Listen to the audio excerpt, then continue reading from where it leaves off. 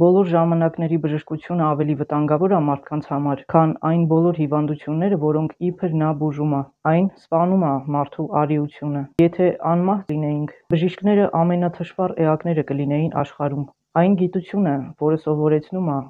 և այն բժշկությունը, որը բուժում ա, անշուշտ, լավ բան ա: Բայց այն գիտությունը, որը խաբում ա, և այն բժշկությունը, որը սպանում ա, վատ ա: Բժշկությունը ոչ այնքան մեր հիվանդություններն ա բուժում, որքան մեզ սարսափ ա ներշնչում նրանց նկատմամբ: Նա ոչ այնքան մահն ա հեռացնում մեզնից, որքան նրա կանխազգացումն ա տալիս մեզ: Աքիլլեսին զինելով վտանգների դեմ, բանաստեղծը խլում ա նրանից խիզախությունը: Եթե ցանկանում եք քաջակորով մարդիկ գտնել, որոնեք նրանց այնտեղ, որտեղ բժիշկներ չկան: Բնությունից մարդն օժտված ա ցավերին արիաբար դիմանալու կարողությամբ: Միայն բժիշկներն ու քահանաներն են իրենց քարոզներով նսեմացնում մարդու սիրտն ու մոռացնել տալիս քաջությունը: Երբ կենդանին հիվանդանում ա, նա լռությամբ տանում ա ցավը: Դեռևս ոչ ոք չի նկատել, որ թույլ կենդանիներ ավելի շատ լինեն, քան թույլ մարդիկ: Մարդիկ չեն ստեղծվել միմյանց վրա խռնվելու, ինչպես մրջնանոցում, այլ ցրվելու երկրի վրա, մշակելով նրա հողը: Ինչքան նրանք խմբվում են,